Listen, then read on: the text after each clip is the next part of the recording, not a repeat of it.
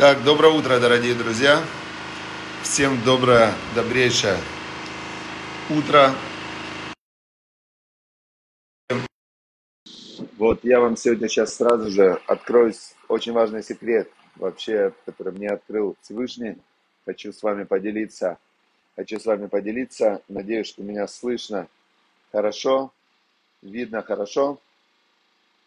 И, э, значит, э, чем хочу с вами сразу поделиться. В, вот интересно, что, вот я говорю, э, добрейшее утро, доброе утро, шалом, и у меня внутри возникает как бы вопрос такой, да, а действительно ли это доброе утро? Такие события, война идет, люди страдают, 4 миллиона 200 тысяч беженцев, это страшно вообще, то есть просто для меня – вот это вот одна из самых страшных вещей в, в этой войне, что люди, 4 миллиона, представьте себе, 4 миллиона 200 тысяч женщин, детей, в основном, потому что мужчины не могут выехать из Украины, они, э, значит, военнообязанные. И получается, люди, женщины, дети, которые жили в своих квартирах, жили в своих, э, ну, как-то в своей жизни, они оп, и вынуждены покинуть из-за бомбежек, вынуждены покинуть свои дома. Это для меня страшно очень, да. И в то же время я говорю доброе утро, потому что мы должны утром просыпаться, говорить Мудеанили Фанека, благодарен я перед тобой, Мелахай Вакаям, Шейзар Табиниш Матим Бехемла, что ты вернул мне душу мою по милосердию своему, велика моя, мера, моя вера в тебя. И мы должны благословлять Всевышнего там э, даже просто, когда мы здороваемся, говорим «Шалом алейхам, мир на вас». И ну, вот это вот э, такая небольшая, небольшая как бы противоречие. И тут я подумал, то есть вот смотрите, есть, например, 4 миллиона 200 тысяч беженцев, и есть, например, в мире голодает сейчас, я видел цифры ООН, я не помню цифры, но по-моему, 18 миллионов человек голодают. Вот, ну, плюс-минус вот такие вот цифры. Это Африка, нет еды, нет воды, э, люди умирают от болезней такими количествами, что мы даже себе не представляем. И это не началось сегодня, это происходит э, день за днем, день за днем, день за днем, год за годом, да. И э, тем не менее мы не замечали этого долгое время. То есть мир мир, да, и мы говорим друг другу доброе утро, он все равно добрый. То есть Всевышний, он все равно дает миру больше добра, чем, э, чем суда. Но получается, что э, вот эта вот пропорция добро, суд, добро, суд, добро, суд, да, как любовь и страх, то, что Всевышнего надо служить ему со страхом и с любовью. Вот эта пропорция, она, она очень такая смешанная вот эта пропорция. И вопрос, на что ты обращаешь внимание. И вот теперь вот тут секрет, главный секрет. Есть в есть э, такое слово в Торе, да, такое понятие в служении, называется битуль. Битуль – это убирание своего эго, убирание своего эго.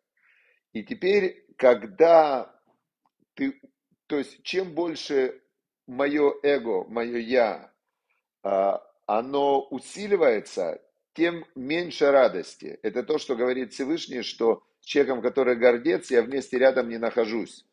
То есть, когда у человека его «я», оно раздувается, то тогда, тогда он как бы вытесняет Всевышнего. И наоборот, вот смотрите, если убрать свое «я», свои ожидания, как должно быть. То есть, например, э, вот э, я думал там урок проводить, когда начинать, а тут э, сосед, вы знаете, он делает ремонт. Делает он ремонт, и вот и то он очень сильно, э, у него там прям такими отбойными молотками работают. И когда я об этом думаю, то есть я, вот включается, что такое эго? Я – это мои ожидания от э, внешнего мира и от людей, которые, которые я как бы вот, я считаю, что так должно быть. И чем больше у меня как должно быть моего, тем больше оно нарушается. Потому что если ты расставишь всем правила, вот я, если я Полине Вартанян скажу, как надо фотографии ставить, волосы красить, как надо то, как надо это. То есть чем больше у меня будет, как я сказал, как надо, тем больше будет нарушений в мире моего я сказал, как надо. и тем больше у меня будет э, неудовольствия, гнева и раздражения. Теперь, а если у меня нет никаких ожиданий от мира, то есть если я принимаю в то, что называется Всевышнего таким, как он, он же хозяин мира, это же его мир, и он, э, он и ремонт делает, он и, э, он и там Виталию Котелевец помог выбрать фотографию, ну, например, да, он же и Facebook Всевышний. То есть за всей вот этой вот реальностью скрывается всегда только Бог. Бог Творец мироздания, хозяин мироздания. И как только я принимаю его э, власть над миром и его право делать в его мире все, что он хочет, то есть это реальность, я просто принимаю реальность такой, какой она есть, и становлюсь в этой реальности наблюдателем этой реальности и партнером для Всевышнего в сотворении этой реальности. А как я знаю, что он от меня хочет? А он мне сказал, что он от меня хочет. Это Тора. Как только я занимаю позицию что я вместе со Всевышним делаю сейчас ремонт у соседа, так оп, он перестает делать ремонт, представляете? Ну, отлично. Вот сразу, видите, затих. То есть, как я со Всевышним решил сделать ремонт вместе в соседней квартире, так вот сразу же, обратите внимание, да, как хорошо получается. Вот. А если он включит, так и я включу. Это не он включит сосед, а я против. Нет, я за. Я вместе со Всевышним и соседом буду делать ремонт отбойным молотком, и мне как бы приятно, Всевышний решил сделать ремонт. Так как я могу быть против? Понятная идея. И тогда будет все время э, весело, радостно и хорошо житься.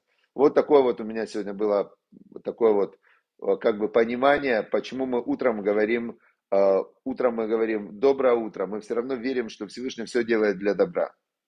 Теперь дальше есть очень интересная сегодня очень интересное сегодня обретение неба на земле. Самое короткое, а, вот из всего, что мы все уроки мы были, всегда есть отрывок из этой книги. Он достаточно длинный. А сегодня это всего лишь две строчечки. Я их даже вырежу сейчас тоже и пошлю их а, в мою группу. У меня есть канал в Телеграме, в котором а, это именно психология развития, не религиозный канал. То есть Ваикра это религиозная платформа, где выступают и проводят уроки люди, которые верят в Бога, которые живут по Торе и которые хотят рассказать свой, поделиться своим опытом жизни по Торе, выполнения заповедей. Это платформа Ваикра. Есть мой урок, есть еще десятки преподавателей, которые преподают. Даже дети у нас преподают, которые живут по Торе. То есть мы хотим дать как э, платформа, место тем, кто живет именно по Торе. То есть мы, я религиозный еврей. Кто не знает, вот у меня типа может кто-то первый раз зашел, я ортодоксальный религиозный еврей, который соблюдает заповеди, так как э, Моше Рабейну Моисей получил от Бога на горе Синай 3333 года назад, э, поднялся на гору Синай, спустился со скрижалями и с устной Торой. И вот я как раз полностью вот э, его, можно сказать, его ученик. И как народ Израиля тогда, Ваямину Баашем Убамуше Авдо, они поверили тогда в Бога, и в Моше, его раба, который передавал Тору. Также я вот иду по вот той вот, э, я мега, ультра, гипер ортодокс. То есть прям ортодокс, ортодокс, 3333 года, э, знаете, как основано 3333 года назад. Теперь, значит, э, Дмитрий Латуха, скажите, я не будучи евреем, слушая уроки, должен ли покрывать голову? как-то так сложилось почему-то, вот я не знаю почему, что все религиозные люди, по-настоящему верующие люди в Бога, они ходят с покрытой головой. А, Папа Римский, возьмем даже так, я уверен, что Папа Римский, он верующий. Он верит, э, у него свой, э, я думаю, что он верит в Бога через э, какую-то систему, да, через христианскую систему но он верит в Создателя мира, это все называется авраамические религии, это все те религии, религия вера в Бога, контакт с которым установил Авраам. Папа Римский, у него такая же типа, как у меня, ну, чуть другого может быть цвета. А, все а, верующие люди почему-то покрывают голову. Почему? Почему они покрывают голову? Давайте подумаем. А, это знак, знак Почему верующие люди покрывают голову? У евреев, у евреев вот эта штука называется ермолка. Это переводится ермолка и рад молка, страх перед царем. То есть э, перед царем мы покрываем голову, чтобы все время помнить, что есть над нами Бог. Но это такое объяснение, э, хорошее, красивое, метафоричное объяснение. В общем, так принято. Это как военная форма. Религиозный, верующий в Бога человек, он покрывает голову. Когда он занимается святым делом, он под ним покрывает голову. То есть это знак уважения перед э, знак уважения перед тем, что есть над нами царь, есть над нами Бог. Все. Поэтому должен ли, не знаю, но то, что это придаст дополнительной, дополнительной осознанности в изучении Торы, то есть если вы разделите, и, например, есть, э, есть такие евреи, э, сирийские евреи, они называются халабим, они евреи из Сирии, они живут, их очень много в Нью-Йорке живет, и они, а, значит, когда они занимаются будничными делами, у них не покрыта голова, но когда они учат Тору или молятся, они надевают кипу. То есть э, у них происходит некое разделение. У, у ортодоксальных евреев, как я, например, да, то ортодоксальные евреи, когда ходят все время в, в кипе, но когда молятся, одевают сверху шляпу или талит то есть чтобы было еще одно покрытие, как бы выделяют. Чем, э, когда ты занимаешься святостью, ты должен выделить это занятие, отделить его от, буднич, от будничного. Э, мусульмане, например, они разуваются, когда, когда идут молиться. Э, Моше Рабейну, когда он подошел и разговаривал с Богом возле куста, то Бог ему сказал, сними сандали, сними сандали, ты стоишь в святом месте. И раньше евреи тоже, когда заходили в храм, тоже разувались, омывали ноги, э, значит, э, омывали руки. Но почему сейчас евреи не разуваются? Опять же, чтобы разделить, есть храм, это более святое место, и туда можно заходить только омыв и руки, и ноги. То есть должно быть выделение святого занятия от будничного. Поэтому вот если вы, например, обычно не ходите в кипе, то во время занятий или женщины тоже покрывают голову, например, да, каким-то платочком или еще чем-то, чтобы выделить это время, что вы как бы выделяете его для себя и входите в новое пространство осознанности. Теперь отрывок, э, отрывок из «Обретения неба на земле». Э, он, э, еще раз, эта книга, эта книга, она а, показывает, как нам в этом мире, на земле, добавить духовности, добавить э, связи с небесами. Такие практические очень советы. Мне она очень нравится, я такой практик, я люблю практику. Сегодня совет очень простой. Возьмите Бога к себе в партнеры. Как взять Бога в себе в партнеры? Предложите ему 10% чистой прибыли. Он не откажется. Маасер. Маасер – это десятая часть а, от того, что Бог дает тебе. Теперь, а, вот э, я знаю, что Дамир, партнер, он все время спрашивал, а куда потом девать эту десятую часть? Вот ты взял, отделил, у тебя есть бизнес. Вот у меня, например, а, был бизнес, и из-за этих событий война он остановился. То есть остановился, мы сейчас не, не можем продавать, 4 миллиона 200 тысяч беженцев, мы открываем образование, большую часть бесплатно. Ну, то есть э, в... остановился бизнес, да? То есть получается десятая часть того, что Бог мне выделял раньше, и десятая часть того, что есть сейчас, изменилась, уменьшилась. Но я знаю, что Всевышний, так как мы с ним партнеры, и я стараюсь отделять не десятую часть, а до 20, между 10 и 20 процентами я отделяю, то э, я знаю, что Бог мне сейчас подготовит какую-то очень хорошую, так как мы партнеры, очень хорошую новые какие-то источники дохода, восстановит старые и так далее. То есть я не, абсолютно не, э, не волнуюсь по этому поводу, потому что мы с Богом партнеры, а ему принадлежит весь мир. Теперь, куда давать десятую часть? Вот задают вопрос, куда давать десятую часть? Значит, э, мы учили в Перке, вот, что на трех, на трех основаниях стоит мир – Мир стоит на Торе, на изучении Торы. Это связь с Богом, а, с Богом через а, изучение священных писаний.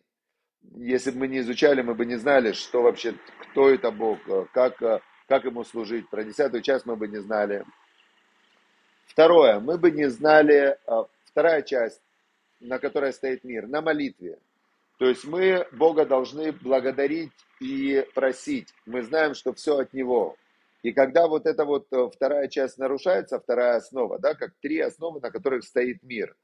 Э, первая основа – это знание о Боге, знание, что такое добро и зло, чтобы не отпускать это на свой, э, на свой разум, потому что мы видим, что кто-то может сказать, что правильно напасть на Украину, кто-то говорит, как можно напасть на, на Украину. Но те, которые нападают, они считают, что они делают добро, те, которые защищаются, они, естественно, считают, что добро на их стороне. Если мы отдадим на человеческий разум, что такое добро, что такое зло, то каждый будет говорить, то, что я делаю, это добро. Поэтому мы должны полагаться на Тору, на божественное определение, что такое добро и что такое зло.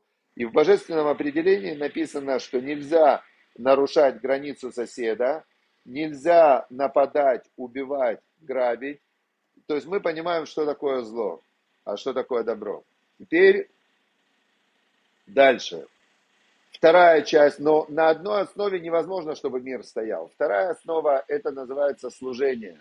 Служение – это молитва. Молитва состоит из двух частей, из трех частей. Прославление, благодарность, просьба. Прославление, просьба, благодарность. То есть три части в молитве, все это как одно и то же. Значит, если мы говорим, я сам сделаю, сейчас там армия, это гордость, и Всевышний таким не помогает. Если мы говорим, Господи, помоги всем хорошим, добрым людям защитить себя, своей жизни, свои дома, помоги людям, э, которых обижают, и спаси их, и сохрани, и дай им силу, и так далее, то мы, мы молимся Всевышнему, и это вторая основа, на которой стоит мир. Третья основа, на которой стоит мир, называется добрые дела между людьми. Между людьми важно делать добрые дела, потому что если мы перестаем делать добро друг другу, то тогда Всевышний говорит, смотрите, вы же ненавидите друг друга, да? За что был разрушен храм? За беспричинную ненависть друг к другу. Так Всевышний говорит, э, если вы ненавидите друг друга, так, э, так делайте, вот ваш, ваша жизнь. То есть вы ненавидите, вы получаете результаты. Значит, люди должны делать добрые дела друг другу, любить друг друга, служить Всевышнему, молиться, и изучать Священное Писание, чтобы понимать, что такое добро, что такое зло, и делать добро, не делать зло. Теперь, куда давать 10%, которые Бог вам, каждому из нас дает пропитание, и в этом пропитании Он дает 10%, а, которые мы должны, он же мы с ним партнеры, и мы должны делать на земле небо. То есть, а, то есть, а, от прибыли от прибыли. То есть, э, если вам сложно считать вот э, контракты и так далее, то прибыль это то, что вы забираете себе. Например, вы решили в конце месяца забрать себе 10 тысяч долларов. Вы еще не знаете, как вся система пойдет. Из этих 10 тысяч долларов тысячу вы отдаете э, на десятину. Потом закончился контракт, посчитали весь контракт, посчитали прибыль. Э, дальше из этой прибыли 10% вы э, передаете за вычетом той тысячи, которую уже распределили. Понятно? То есть э, в... Понятно, да, как работает? Теперь распределяются эти деньги между этими тремя основами в зависимости от того, как вы, э, как вы видите свою миссию в этом мире. И есть еще один очень важный момент. Э, написано так, что помоги другому в том, в чем ты хочешь, чтобы Бог помог тебе. А, и Бог поможет тебе. Теперь смотрите, вот на этих двух принципах стоит э, распределение 10%. Например, а, я хочу знать, как работает мир. Я хочу, чтобы Бог мне открыл полностью знание, как все работает. Тора. Значит, я старался большую часть денег, которые Бог давал мне, помогать э, тем, кто изучает Тору. И одновременно я выполнял заповедь, которая называется Гмилут Хасадим, добрые дела – Потому что те, кто посвятили себя изучению Торы, они одновременно бедные. То есть это те люди, которые живут на подаяние других людей. Поэтому они живут очень скромно, очень бедно и изучают Тору. То есть я считал, что самая большая заповедь, раз, раз мне Всевышний, у меня есть желание, я лично молюсь Всевышнему, я хочу понять, как работает мир, я хочу точно знать, где добро, где зло, как правильно жить в этом мире, выполняя волю Всевышнего, как работает система. То есть я прошу Всевышнего, чтобы он мне открыл истину, вот как работает. Это моя главная, как бы, моя личная просьба ко Всевышнему и страсть. Понять, как он э, управляет миром, как, что можно, что нельзя, что правильно, что неправильно. Вот. И я поэтому стараюсь помогать тем, кто учит Тору, те, кто изучают, изучают э, вот эту вот божественную мудрость, и одновременно они же бедные, то есть э, помогая им, ты выполняешь заповедь поддерживать бедных. Все. Теперь, значит, есть люди, которые, а, которые хотят, вот они видят своей миссией прославления Всевышнего. Они могут, например, кто-то строить синагоги. Но я сказал, например, вот у меня есть друг один, который а, такой, вот Бог дал ему там деньги, очень, очень обеспеченные люди. Я ему когда-то сказал, я говорю, я в стены не вкладываю. Вот лично мое убеждение, что вкладывать в синагоги, в какие-то вот эти вот помпезные штуки, это не мое.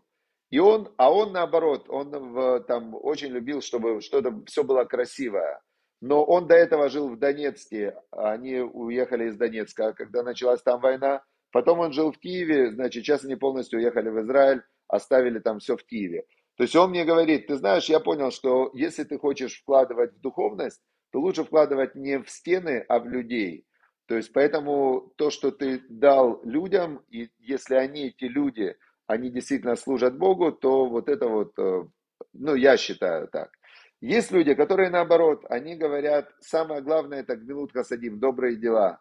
То есть они полностью вкладывают деньги в, страх, в людях, которым больно, плохо, в больных, в сирот, в, в, в бедных и так далее. То есть есть люди, которые видят свою как миссию в этом мире, да, помогать таким людям. И отлично, прекрасно. Я знаю, что таких людей очень много. Э, намного больше, чем людей, которые понимают важность изучения Торы. Поэтому я лично для себя поддерживаю тех, кто изучает Тору, а я точно уверен, вот у меня сейчас есть множество знакомых, которые поддерживают беженцев, физически поддерживают, собирают на них деньги, отправляют им еду, одежду и так далее. То есть они больше понимают, чем я, материальный мир, и они видят абсолютно справедливо свою миссию помогать людям в материальности. Это тоже помощь, это тоже богоугодное дело, это тоже эти 10%, они можно туда их отдавать. То есть принцип понятен, а дальше выбирайте. Первый принцип – это должно быть, есть еще один важный принцип. Когда вы даете деньги эти, да, это не ваши деньги, это деньги Всевышнего. И если люди, если вы как бы присваиваете себе, присваиваете себе э, говорите, это я помог, то это неправильно. То есть, э, если вы, если вы, э, значит, э, говорите, что это деньги, это Бог вам помогает, это не я помогаю. Я только здесь передаю эти деньги. Вот это правильный подход. И Всевышний тогда через вас начинает давать больше и больше. Теперь насчет фондов. Вопрос, опять же, главный вопрос это то, что понимают ли те люди, которые занимаются благотворительностью, что это идет от Всевышнего или не понимают. То есть есть люди, которые искренне считают, что благотворительность это поддерживать, например, там пропаганду э, ЛГБТ, да, девы, лесбиянок. Но это против Бога. То есть это конкретно Бог сказал, что я против этого. Плодитесь и размножайтесь. Мир должен идти по системе, в которой есть мужчина, есть женщина, есть папа, есть мама, есть семья, есть дети. Все. Нет никаких изменений в этом, не может быть. То есть это все, а, ну, ну никак оно не вписывается в божественное проведение, ну, в божественное управление миром. Теперь, но те люди, которые помогают этим геям и лесбиянкам, они считают, что они делают добро. Они считают, что пропаганда, сделать как можно больше людей такими, это добро.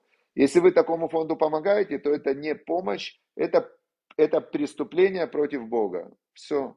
То есть и то, что человек думает, что он делает добро, по факту это зло. То есть вот, вот так вот э, надо к этому подходить. То есть если вы даете, потому что вы считаете, что надо помогать, вы делаете добро себе, потому что вы себя как бы тешите. Я хочу помогать, я помогаю. Если вы помогаете, потому что Бог сказал помогать, и потому что вы верите в то, что есть у вас душа, есть Бог, есть э, система, то тогда вы, эти 10% это не ваши. Вы служите Богу, вы передатчик, вы партнер Всевышнего, и вы просто передаете, выполняете свою работу. Когда вы туда придете, у вас будет в вашем зачете, действие правильное, что вы выполняли заповедь помогать, помогать людям. Все, теперь, значит, э, давайте, всем советую взять Бога в партнеры. Эти 10% можно, можно своим временем давать, например, да, прийти, помочь и так далее. Но всегда говорите, это не я вам помогаю, это Всевышний помогает. Я здесь только просто передатчик, как бы, я ангел, просто говорите, я ангел Всевышнего, я здесь как бы на работе. Все, Теперь, значит, кусочек у нас еще остался. Сегодня мы долго говорили, важная действительно тема, как помогать, кому помогать. А, значит, сегодня в недельной главе в отрывке рассказывается о том, как определяется язва проказы на домах. И, значит, Всевышний посылал на дома тоже вот эту язву проказы. Я хочу очень внимание уделить двум вещам, которые здесь скрыты. Первая вещь, которая здесь скрыта, что когда у человека в доме появлялись вот эти вот пятна красного или зеленого цвета на стенах, то он шел к священнику и приглашал его, чтобы священник определил, это язва, это проказа или не проказа. И в Торе подчеркнуто, что придет тот, э, придет человек к священнослужителю и скажет ему, священнику, как будто язва показалась у меня в доме. Лемор Кенега Нирали Бабает. Показалось мне, что у меня язва. Даже если он уверен на тысячу процентов, что это язва, он не может сказать, я уверен, потому что определяет только священник. То есть и в Талмуде есть очень важное вот тут правило такое, приучи свой язык говорить «я не знаю». Не будьте на сто процентов уверены ни в чем. А, потому что этот мир настолько, этот мир называется мир лжи.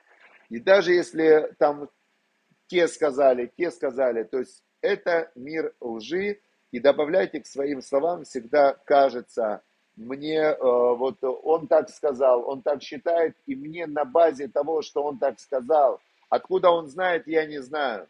Но мне кажется вот так. И если вы э, привыкнете а, не быть слишком уверенным в своем мнении, вам будет намного легче. То есть вы будете совершенно спокойно, расслабленно принимать мнение других людей, реальность. Вы будете понимать, насколько, как знаете, есть анекдот, когда папа сына учит и говорит, сынок, ты не можешь ни в чем быть абсолютно уверенным, потому что абсолютно уверены в своей правоте только идиоты. Сын спрашивает, папа, ты уверен? Он говорит, абсолютно, абсолютно точно. То есть даже человек, который знает это, он все равно попадает в эту, в эту ловушку, и он, э, говоря какие-то вещи, которые просто мнения, а он в них уверен, как, э, как будто бы это правда. Теперь дальше. Это первая такая маленькая, э, маленькая, так сказать, урок, который мы можем выучить. И сказалось бы, там, проказа на домах, этого сейчас нет. Но мы вот историю можем учить для нас тоже большие уроки. И вторая очень важная вещь, что очень часто бывало так, очень часто бывало так, что после того, как вытаскивали те камни, разрушали то место, где была язва, там находили, там находили что? Тайники с золотом. И отсюда мы учим очень интересный урок, что иногда для того, чтобы человек мог найти в себе какие-то уникальные силы, какие-то уникальные возможности, для того, чтобы перейти на следующую ступень в своем развитии, Всевышнему приходится нам дать вначале язва, болезнь, война, э, какие-то страшные события. Только это то, что потом говорил Ницше, такой был философ, он говорил, то, что не убивает человека, делает его сильнее. То есть, когда человек попадает в потрясение, если он выходит из него, он выходит э, иногда намного сильнее. И точно так же иногда Всевышнему, для того, чтобы человек раскаялся, вернулся к Богу, Э, перешел на следующий уровень в своем духовном развитии, ему для этого нужно, нужно ему для этого дать какое-то потрясение, напряжение, боль, э, язва, проказа и так далее. И после этого, когда человек выходит из этой ямы, он взлетает на следующий уровень в своем духовном развитии. Чего, в принципе, я всем нам желаю, чтобы вот эти события, которые сейчас происходят, война, беженцы, э, сосед делает ремонт и просто долбит э, с утра до ночи отбойным молотком, что рассматривать все вот эти вот потрясения мы должны как э, знак Всевышнего, урок Всевышнего, подарок Всевышнего, который дает нам возможность на что-то обратить внимание и перейти на следующий уровень в своем духовном развитии. Все, желаю всем добра, счастья, успехов, благополучия и чтобы мы брали Всевышнего в партнеры, и Он через нас помогал другим людям, и чтобы эти 10%, которые мы передаем, превратились в тысячи, десятки тысяч, сотни тысяч, э, миллионы долларов для кого-то. Э, ну и чтобы вам тоже осталось хорошо. Все, удачи, успехов. Счастливо.